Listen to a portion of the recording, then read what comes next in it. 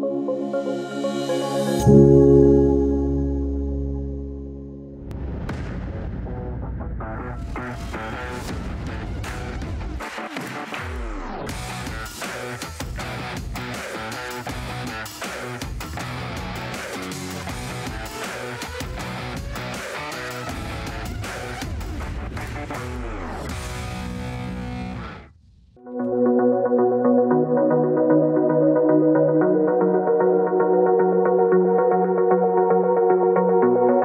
501 Academy is a portal, a web-based portal that will host open education resources for Belizean students and um, teachers. It will be a site where teachers can go and access resource and materials. They're already live teaching from the summer um, camp sessions there. But what we never had in Belize is a single operation that curates and creates open education resources for the Belizean curriculum and the Belizean classroom. So we will have eventually developed a local bank of live, localized Belizean lessons where students can say, wow, that's my teacher, I know her. Uh, a perfect example of one project within this operation that has started is the Let's Catch Up program.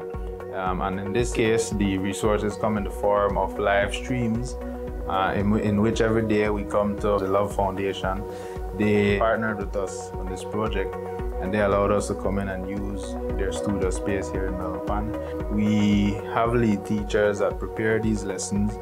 We had songs, we um, fostered blending for students to read and we did a lot of oral reading activities for the literacy segment. We live stream the lessons to classroom centers across the country. And yes, it's aimed towards students and teachers and the Belizean classroom, but when we say open, we also mean just anyone that has an interest to learn something. It will be there for you to access.